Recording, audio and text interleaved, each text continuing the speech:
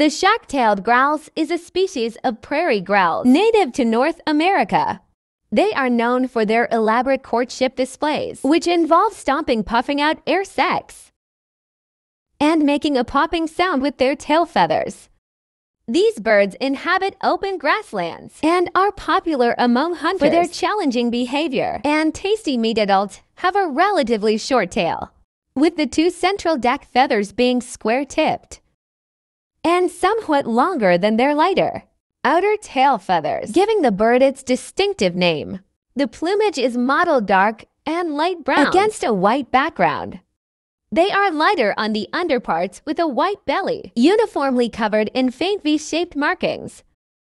These markings distinguish sharp-tailed grouse from lesser and greater prairie chickens, which are heavily barred on their underparts. Nine adult males have a yellow comb over their eyes and a violet display patch on their neck.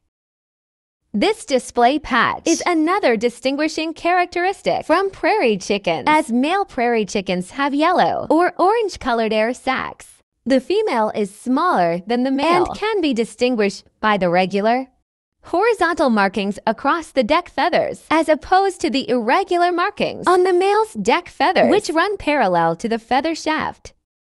Females also tend to have less obvious combs,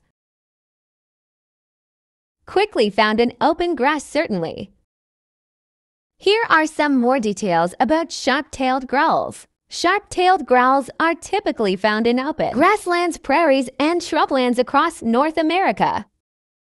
They prefer areas with a mix of grasses, shrubs, and low vegetation for feeding and cover. Adults have mottled brown plumage with white underparts and a distinctive five-shaped band of white feathers on their throats. Males have bright yellow combs above their eyes and inflatable air sacs on their necks used during courtship displays. As their name suggests, they have sharp-pointed tail feathers. Sharp-tailed grouse are primarily ground-dwelling birds. They are often seen foraging for food on the ground, feeding on seeds, berries, insects, and green vegetation. During the breeding season, Males gather on traditional display grounds called leks, where they perform elaborate courtship displays to attract females.